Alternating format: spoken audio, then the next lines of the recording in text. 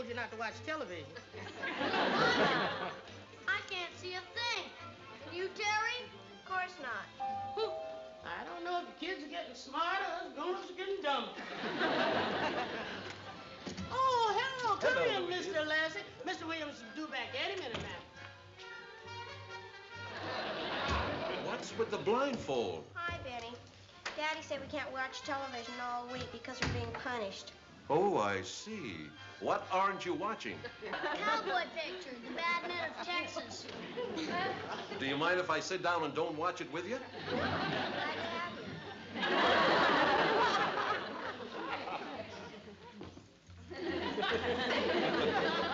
Uh, by the way, why are you being punished? Just because I didn't put my sweater away and left it lying on the living room floor. So your father has become neat? No, he's still sloppy. We've become neat. And you can't watch television all week just because you left your sweater on the living room floor? Ain't it drastic? Well, my skates were under it.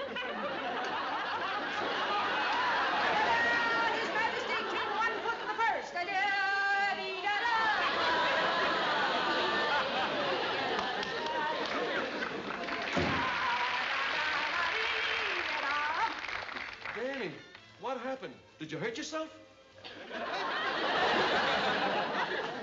Heavens, no. Whatever gave you that idea? I always wear one leg in the cast. This way, a pair of socks goes twice as far. Did I hurt myself? You know, I'm glad you're here, Betty. He was running out of people to yell at. Who yelled? Me yell? I never yell. Shut that television set off, will you? Television? Didn't I tell you kids not to watch television for a week? We weren't watching, we were just listening. Like this, see? We couldn't see a thing. Ask Uncle Benny. Yeah, you said we couldn't watch television. You didn't say we couldn't listen. Yeah, we found a loophole. You found a loophole, huh? okay, legal giant. May it please the court.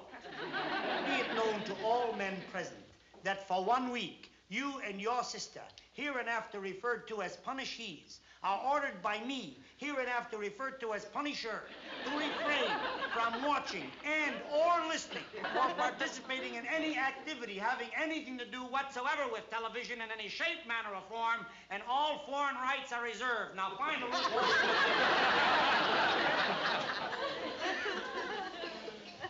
Would you mind repeating that? What are you doing? I'm scratching. You've been eating strawberries again? No. You have, haven't you? You know you break out on a rash when you eat strawberries. If you think I'm going to sit up all night and scratch your back, you got another thing coming. but Daddy, I haven't been eating strawberries. then why are you scratching? Because I itch. Itch all you want. As long as it doesn't come from eating strawberries. What a grouch. Go to your room. I don't see you for three days and you break a leg. You don't mind. Look on the merchandise, but don't touch. Danny, I feel awful about this. Are you in pain? Of course I'm in pain. Then I've got to leave. I can't stand pain. Wait a minute. We got some songs to run over. We're supposed to rehearse. Rehearse? What are you going to sing? Don't get around much anymore? Don't be a white guy. How about I could have danced all night? All right. I got a real snazzy one. Foot, foot, footsie. Now listen. Oh, oh, you made me hurt my leg. Oh, the pain. I can't stand it. Go ahead. Go on for all I care. Who needs you? Oh, boy, that Benny. Yeah, supposed to be my buddy. It's at a time like this when you find out who your real friends are. Oh, come now, let's not dream this up into too much of a tragedy. You know, things could be worse. Oh, sure, sure. Could have broken both legs. I never thought of that. I'm so lucky. You're lucky. While you're lounging around here recuperating from a minor mishap, your uh, career is being kept alive by the finest press agent in the business.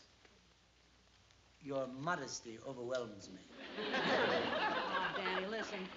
I know it's tough being laid up like this, but honestly, count your blessings. Look, you're at the top of your profession. You have this beautiful apartment, and, well, most important of all, you've got two of the sweetest kids in the world. Two of the sweetest problems, you mean? What do you mean, problems? Never mind. I found a nice boarding school where there can be somebody else's problem for a while. Boarding school? That's right. Dr. Paris, the woman who runs the place, coming up in a few minutes. Look, this magazine article you want to run, Just a minute, just a minute. Hold the publicity a second. What's this problem kid routine? Terry and Rusty are two of the healthiest kids I know, mentally and physically. Boarding school? Oh, honestly, Danny. What's the matter with a boarding school? Nothing. Well, why send them to a boarding school to get rid of them? Why not just sell them on the open market? I hear kids are bringing two and a quarter a pound these days. Liz, let's talk about the publicity. I know. Let's talk about your problem kids. What's there to talk about? I've done everything I can do, but with no mother in the house to balance things, children get out of hand. We're at each other's throats all the time. Now with me laid up in a wheelchair for a couple of weeks, it can only be worse. It'll be bad for them and bad for me. Look, Liz, it's hard to explain to you, but a woman would understand.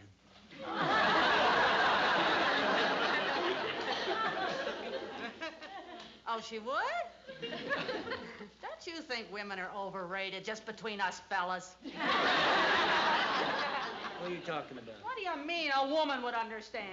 I should like to point out that I am a member in good standing of that sex.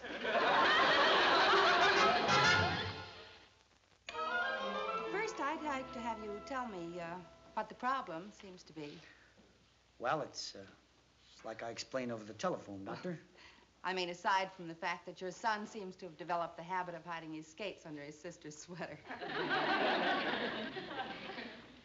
Well, for over a year now, I've had to be both father and mother to the kids, and I never expected I'd do much of a job as a mother, but lately I'm not doing so hot as a father.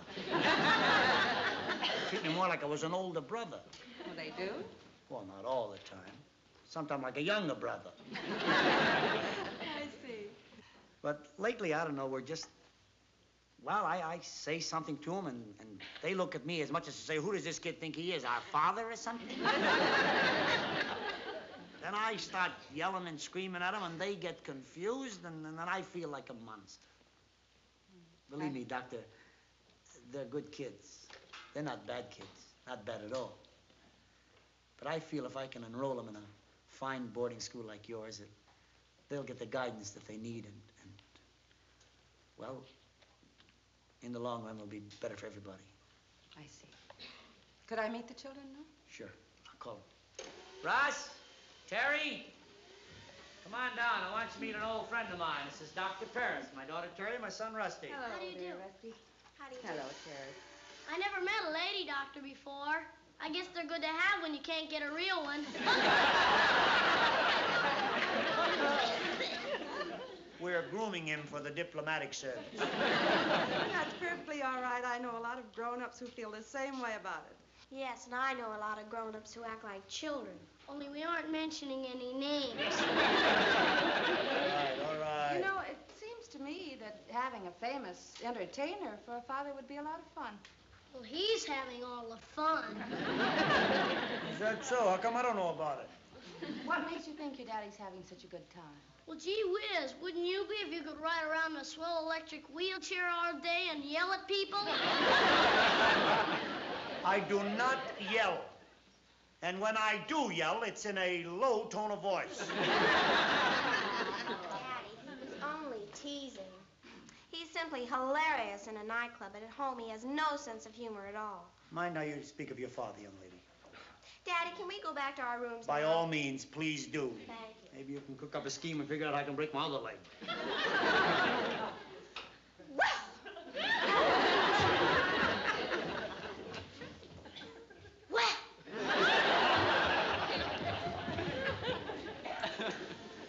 See what I mean?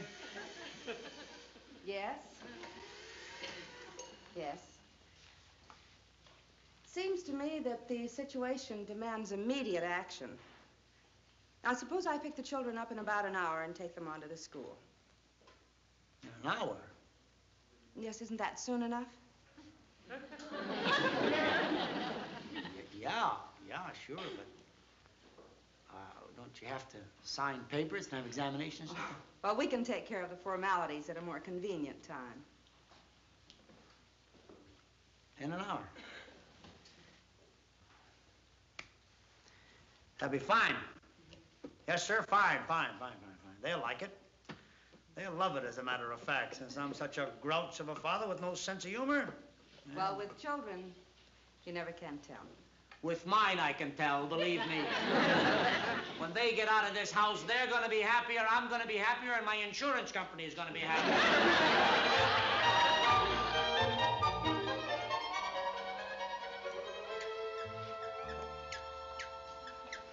that thing away, will you? But this is my favorite puppet. Okay, it's your favorite puppet. I didn't say throw it away. I just said put it away. I'd like to talk to you for a minute. Uh, uh, how, uh, how would you kids like to get away from this place for a while? Oh, boy. I mean, I mean, to a, a place where they got horseback riding and tennis Oh, boy. and swimming and boating and stuff like that. Oh. I, I What you- thought you'd like that. Yeah, when are you taking us, Daddy? Well, uh, I, I, I'm not taking you. You're not? No, no, uh, Dr. Paris is taking you. That's the woman you just met. She has a wonderful boarding school out in Long Island and, uh, and have all these wonderful activities out there. And it's a great idea, isn't it?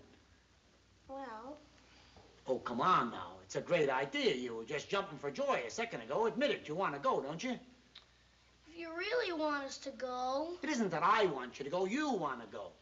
Now, come on, admit it. Tell the truth now. You want to go, don't you? now, come on, admit it. Should I get the bright light and the rubber hose, Chief? Why don't you stop acting and admit the truth? It's a real great idea. You're happy about it, aren't you? Aren't you happy? are we happy? Yes. Yes, so. Maybe it just takes a little time before you feel it. Daddy, who's going to take care of you? Don't worry about me. I'll survive. Now, I know you. The minute I turn my back, you'll stuff yourself with salami sandwiches and then spend the whole night drinking bicarbonate. And burping. If that's all that's bothering you, you can just put your minds at rest. I mean, if you're so happy to go, you better get packed because Dr. Paris will be here in an hour. In an hour. Hey, what's the matter? Isn't that soon enough? Well, you really want us to go. Will you stop saying I want you to go? You want to go, so why don't you admit it? Go on downstairs and get your baggage out of the closet. All right. Come on, Rusty.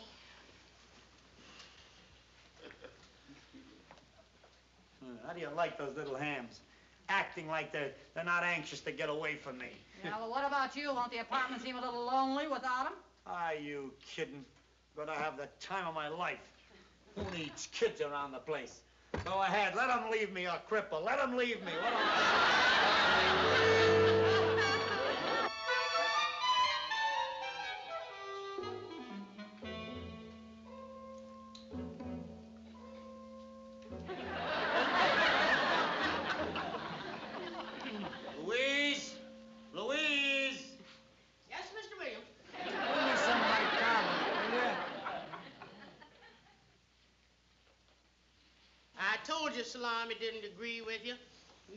You. Never learn?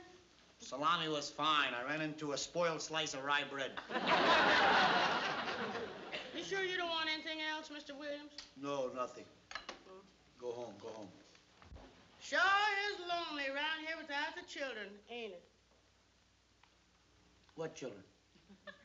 Oh, I forgot all about them. Well, good night, Mr. Williams. Good night, Terry. I mean, Louise. Night.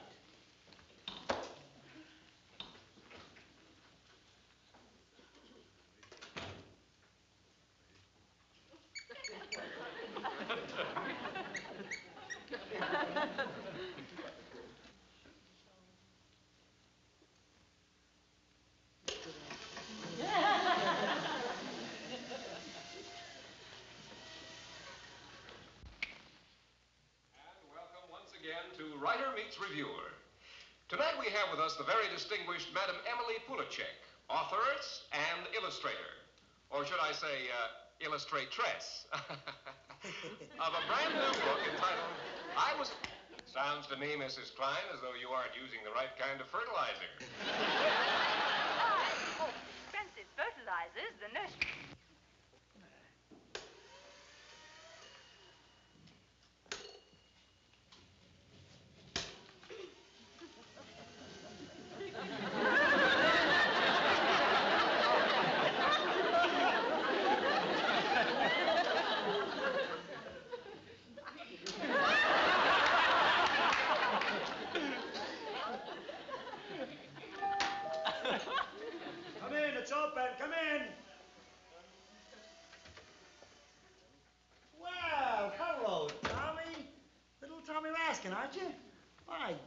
good to see you. I haven't seen you in a long time. Come on, let me look at you. Say, you're growing up. You know that? Look wonderful. How you feel? I feel fine. Good, good, good. Can Rusty play a while before bed? Rusty? Well, son, he's uh, he's away on a trip. Okay, thank you. Well, wait a minute, wait a minute. What's your hurry? How about a shot of chocolate milk for the road? Real good for you. No, thank you. Would you like something maybe a little stronger? How about root beer? No, thank you. I gotta go and find somebody to play with before bed. Oh, what's the matter with me? I play real good. I taught Rusty everything he knows about cops and robbers. Oh, come on, what do you want to be, the good guy or the bad guy? Really, I gotta go. What do you, well, well, you don't have to go right away. Why don't you stay around and play? If you don't let me go, if you don't let me go, I'll yell for help. Go on, go ahead. Just for that, I hope you grow up and have children of your own.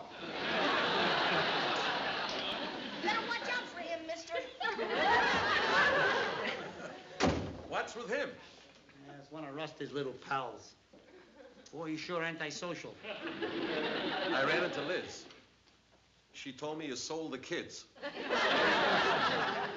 Well, I didn't exactly sell them. I, I hawked them for a while. Well, I thought I would come up and take their place, seeing as how I'm only a child at heart. Isn't that ridiculous? How can you get so attached to two noisy little monsters like that?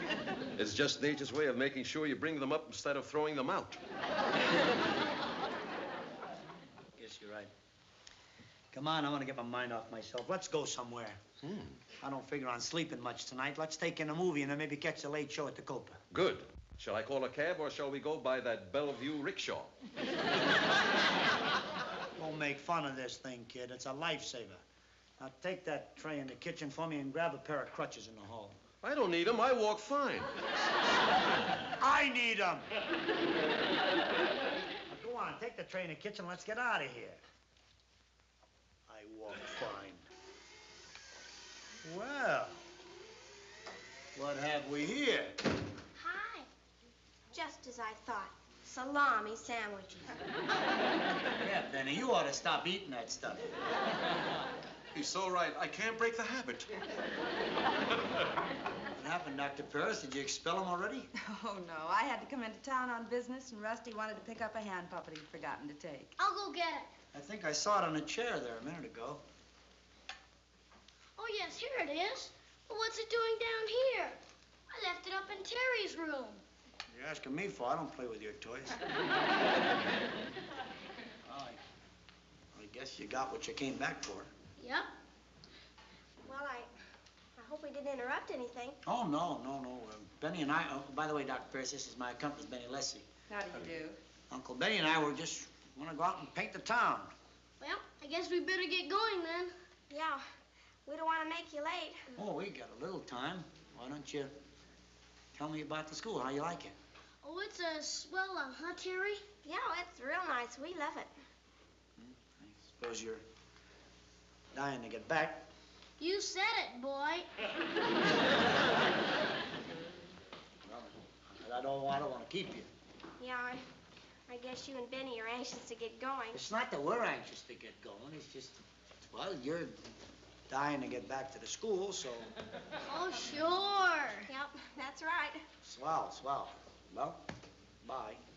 Bye. Hey, wait a minute. Gee, look how dark it is out. You think it's safe traveling all the way out to Long Island when it's as dark as all that? Hey, he, he- he's got a point there, you know? He sure has. That's a dangerous trip in bright daylight. Yeah, no kidding, Doctor. You look up your statistics and you'll discover that most of your nighttime accidents happen after dark.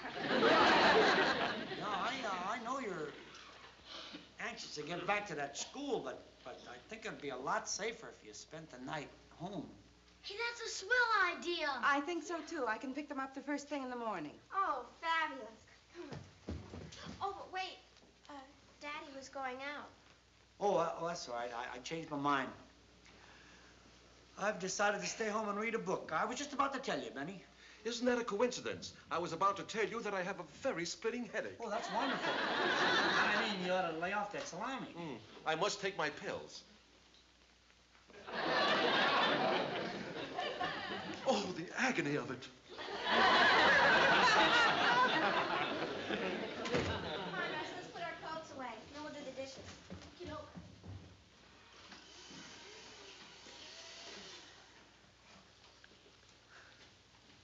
I suppose uh, you'll be uh, picking them up. Uh, I mean, we'll, we'll see you in the morning.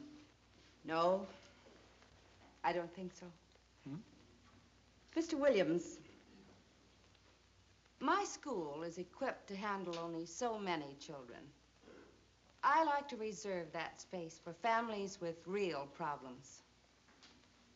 Mr. Williams, your family doesn't fall in that category. Yeah. I guess my kids haven't outgrown the need for their old man yet. And vice versa? And vice versa. My, you surprise me. How's that? Well, I thought it would take a lot longer to convince you. Oh. After all, you're a very, uh, well, shall we say, strong-minded man? Well, if uh, that's polite talk for I'm bullheaded, thank you. It is. Then you're welcome. Thanks for everything, Doctor. Goodbye, Mr. Williams. I'll send you a bill. Make it a big one. Bye.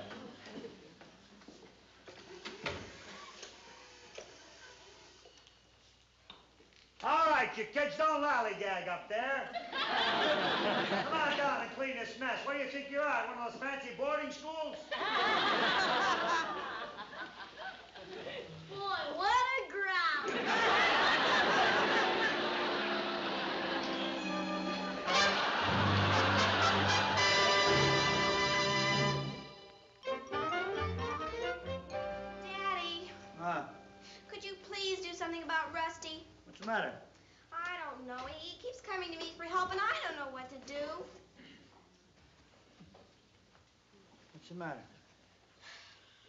What'd you have for dinner at that school? Roast beef. That's not what I mean. What'd you have for dessert? You know. How many? Fifteen. Fifteen! They were small ones. Where did it itch you the most? Right here in the center of my back where I can't get at it. Okay, come on. Oh.